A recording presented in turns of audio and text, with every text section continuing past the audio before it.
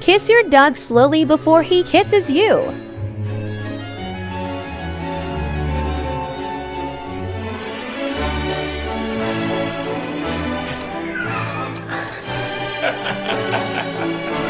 Ah!